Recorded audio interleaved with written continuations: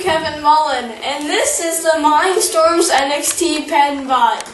And today, it's gonna draw us a K. The letter K? Yes!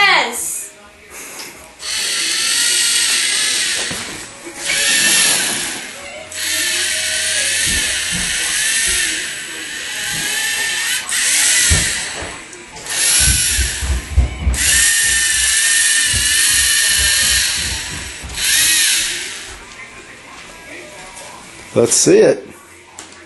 And there's the K. What?